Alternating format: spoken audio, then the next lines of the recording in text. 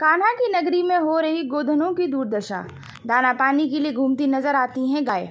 कृष्ण की नगरी यानी ब्रज क्षेत्र में हज़ारों की संख्या में हज़ारों निजी एवं संस्था की गौशाला तथा दो सरकारी गौशालाएँ होने के बावजूद भी आज गायों की दुर्दशा बद से बदतर होती हुई नज़र आ रही है। इतना ही नहीं, हज़ारों गौ सेवकों वाहनों पर गौ सेवा का बैनर लगा के घूमते हुए नज़र आते हैं। इतना ही नहीं, सोशल साइट पर भी यह गौ सेवा के नाम पर अपने आप को समाज सेवी सिद्ध करने में कोई कसर नहीं छोड़ते, मगर ज़मीनी हकीकत देखी जाए तो वह कुछ और ही बयां करती है। यह नज़ारा है गोवर्धन के बस स्टैंड का। यहाँ एक महिला बोतल से पानी पी रही थी, उसको देखकर एक छोटी गाय वहाँ आ गई तथा महिला से पानी की उम्मीद जताने लगी, जिसको देखकर महिला ने बोतल से गाय को पानी पिलाया। वहीं कुछ तस्वीरों में बस स्टैंड पर खाना खा रहे श्रद्धालुओं से खाना मिलने की उम्मीद से पहुँची गाय। यहाँ श्रद्धालुओं ने अपने पास रखे खाने में से गाय को कुछ खाना खिलाया। यह गाय अपने दाना पानी के लिए दर दर ठोकरे खाती हुई नज़र आती हैं। हम आपको यह भी बता दें कि करोड़ों रुपए प्रति माह इन गौशालाओं में गाय सेवा के लिए आता है, मगर वह पैसा कहाँ जाता है, उसका अंदाज़ा आप बखूबी लगा सकते हैं। इसकी हकीकत वहाँ मौजूद एक साधु ने खोली।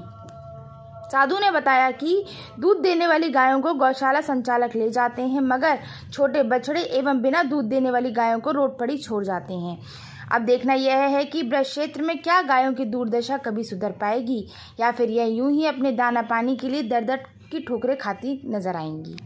महाराज जैसा कि देखा जा रहा है ब्रज की नगरी काना की नगरी बोली जाती है और यहाँ गौओं की दुर्दशा देखने को मिल रही है। इसके बारे में क्या कहेंगे आप? अब इंसान सब अपना ही अपना भला चाहता है। जी। लेकिन भगवान श्री कृष्ण ने हमको ये, ये सीख दी उन्होंने आके जब गाय चराई तो हमको सीख लेना चाहिए उनसे ही कि गौ सेवा सबसे बड़ी सेवा है। जी। लेकिन इंसान को हम समझाते हैं उसकी समझ में तो आता नहीं रोटी को फेंक तो देता है। जी। लेकिन ये नहीं है कि गौ माता के लिए खिलाए। फिर वो हमको बीन बीन कर जब बेचारी वो डोल डोलती हैं परेशान तो हम उनको देखते हैं तो हमें वो उठाकर उनके लिए इकट्ठी करके खिलानी पड़ती अच्छा जी देखा जा रहा है कि महाराज प्रतिदिन यहाँ प्रशासन गायों को पकड़ता है गौशाला पहुंचाता है उसके बावजूद भी परिक्रमा मार्ग में इतनी सारी गाय दिख रही हैं।